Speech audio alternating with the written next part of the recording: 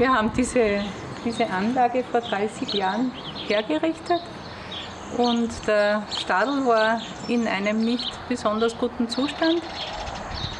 Und dann haben wir überlegt, wie wir ihn revitalisieren können und haben dann äh, befunden, äh, wir machen die Mauern neu, weil die schon sehr schlecht waren und ähm, also ein Teil der Mauern. Und dann haben wir es wieder mit Holz, so wie es also da in dieser Gegend üblich ist, äh, dass die, die Zwischenräume bzw. der ganze Stadel aus Holz gemacht ist. Und so haben wir es dann auch gemacht und wir haben die, die Kastenfenster, die alten, die uns bei der Renovierung von den Häusern äh, übrig geblieben sind, haben wir dann verwendet praktisch für, für den Stadel.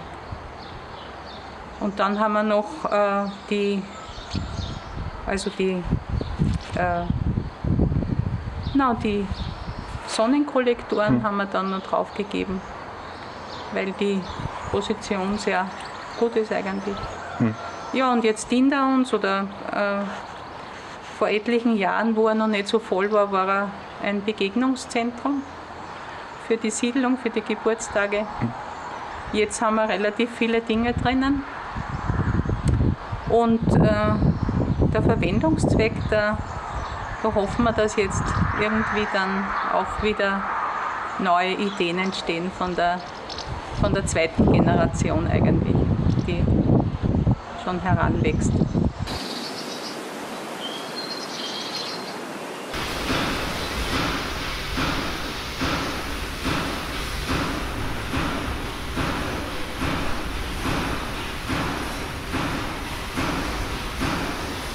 Also die, das Gebäude der ehemaligen Tabakfabrik äh, wurde 1925, ist das vom Architekt Hoppe, hat der geheißen, ja? Hoppe, mhm. äh, wurde das errichtet, ist ja ein herrlicher großer Bau aus dieser Zeit. Und 1850 entstand schon das erste Gebäude für diese Tabakregie, wo händisch eben viele Millionen Zigaretten, Zigarillos äh, erzeugt wurden. In dieser ersten Tabakfabrik ist heute die Kunsthalle Krems untergebracht. Und das zweite Gebäude der Tabakregie war das große, äh, moderne, 1925 erbaute Gebäude vom Architekt Hoppe. Äh, in dem Gebäude arbeiteten tausende äh, Leute, die äh, Zigarillos herstellten, die der Kaiser Franz Josef damals auch so gerne geraucht hat. Das sind die gewellten langen Zigarillos und da wurden millionenfach hergestellt, war ein tolles Unternehmen damals.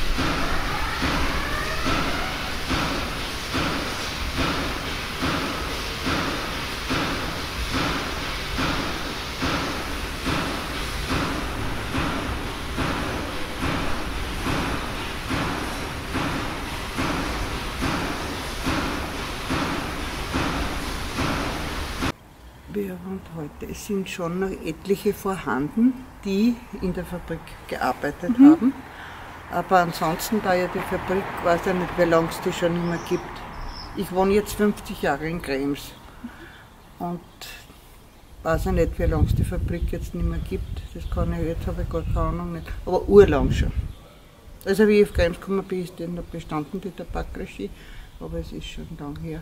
Und natürlich sind die Leute, die ewig da gewohnt haben. Ja. Äh, ich bin vom Waldviertel und bin nach Krems gekommen. Ja, weil ich zuerst in Dürnstein gearbeitet habe, dann habe ich mich verliebt und dann bin ich nach Krems gekommen. Dann habe ich den Vater meines Kindes hier gehabt und ja, und so mit war ich Kremserin geblieben. Ja, aber das ist jetzt mein Pensionistendomizil, was ich da habe.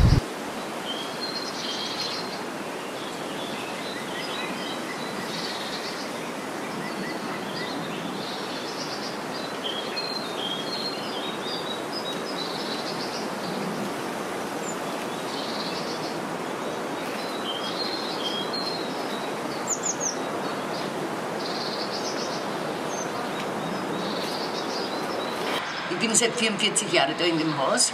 Es ist wirklich ganz toll, ruhig. Wir haben sehr nette Leute hier. Ja. gute Atmosphäre. Wir haben aber noch einen Dachboden, den wir gemeinsam nutzen können, oder hinten den Wäschplatz, der wird auch gemeinsam benutzt. Ja, oft ist es so, dass im Sommer dann die Leute im Hof sitzen und sich unterhalten, das was natürlich auch was Schönes ist. Ja, Super. Leider sind nicht mehr viele Kinder im Haus. Ja. Und das fehlt natürlich auch.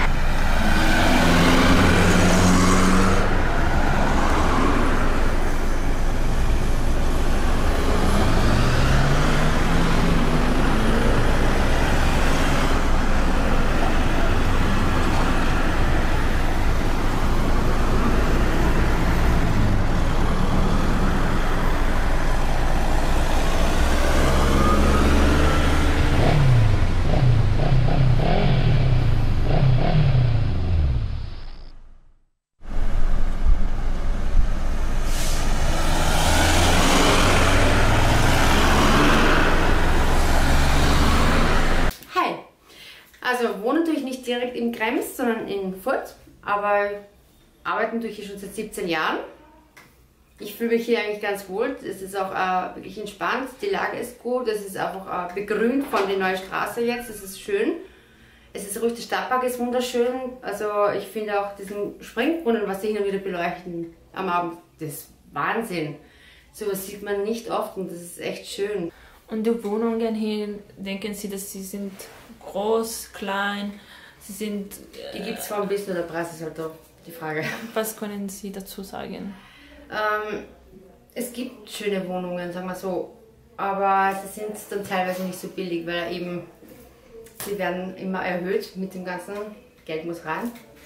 Aber es ist halt dann mit dem schwieriger zum Leisten, wenn man alleine ist oder mit Kind oder Studenten können sich zusammenlegen. Das ist okay. Dann sind es mehr in einer Wohnung, dann ist es leistbar. Aber man muss halt schauen, was man will. Es ist der Quadratmeterpreis steigt einfach. Sonst gibt es hier schöne Wohnungen. Ich habe mir da schon einige angeschaut gehabt vor Jahren. Es gibt viele schöne Orte hier in Krems, aber man muss sich halt mal anschauen. Dieses zehnstöckige Haus mit äh, Wohnungen und Balkonen war damals ein moderner Wohnblock. Das war damals etwas. Nach den Kriegszeiten wurde hier auf der Ringstraße Krems eben gebaut, neuer Wohnraum. Heute, wenn ich es genauer anschaue, dann sagt man, ui, was ist denn das für ein äh, weniger schönes Gebäude, ich will nicht sagen hässlich, aber irgendwie funktioneller Wohnblock. Sehr hübsch lachte einen nicht an, aber es war damals scheinbar so, die Art und Weise so zu bauen. Und es ist nach wie vor ein sehr beliebter Wohnblock, möchte ich sagen. Es ist zwar ein rascher Wechsel in diesem Haus. Die Leute, Studenten oder junge Familien mieten Wohnungen in diesem Haus, weil man ja im Zentrum der Stadt ist. Aber nach einiger Zeit ist dann wieder, gehen die wieder weg und kommen andere. Es ist so eine Fluktuation hier in diesem Wohnblock. Funktionell ist er schon, aber von der Bauweise her gerade, ja, vielleicht würde man es heute anders machen. Und im Erdgeschoss ist eben dieses liebe, entzückende Café meiner lieben Freundin Renate Wilhelm. Ihre Familie hat dieses Café da hinein ähm, geschaffen, weil sie haben das gekauft eben und haben das äh, von einem berühmten Architekten, ich weiß den Namen jetzt nicht, gestalten lassen. Derselbe Architekt, der in Wien am Graben das Café Europ eingerichtet hat. Und es ist nach wie vor noch so, wie es originell, original gemacht wurde. Und es ist ein sehr äh, reizvolles Café-Ambiente mit Leckereien, wo wir Freunde von Renate Wilhelm uns immer treffen und auch andere Leute vorbeikommen. Ähm, kommen Sie einmal.